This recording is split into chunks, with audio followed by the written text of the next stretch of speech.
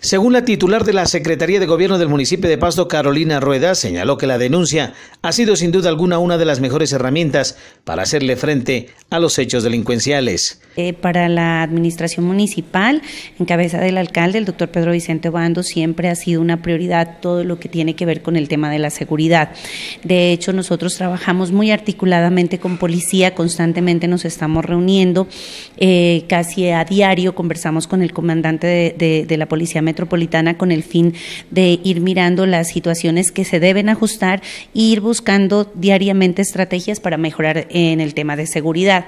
Eh, hemos hecho bastante énfasis en la problemática de menores. Eso era un tema que eh, agobiaba mucho a, las comunidades, todo el tema de chiquitecas, eh, el tema de los menores de edad en establecimientos de comercio en donde se expenden o se vende licor y eh, se han hecho operativos continuos en ese aspecto. Igualmente también eh, venimos realizando operativos continuos frente al tema de horarios, eh, documentación de los establecimientos de comercio a través de la subsecretaría de Control se vienen realizando constantemente y el operativo de impacto que mes a mes realizamos con eh, una estructuración interinstitucional de varias entidades que apoyan eh, este, esta, esta, esta dinámica eh, y mes a mes venimos realizándolo.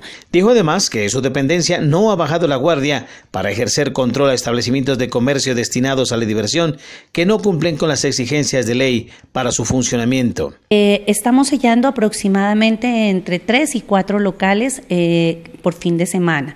El, el, fin de semana anterior se sellaron aproximadamente tres establecimientos eh, y estamos como muy pendientes de que los establecimientos cumplan con todos los requisitos que se, se necesitan para funcionar.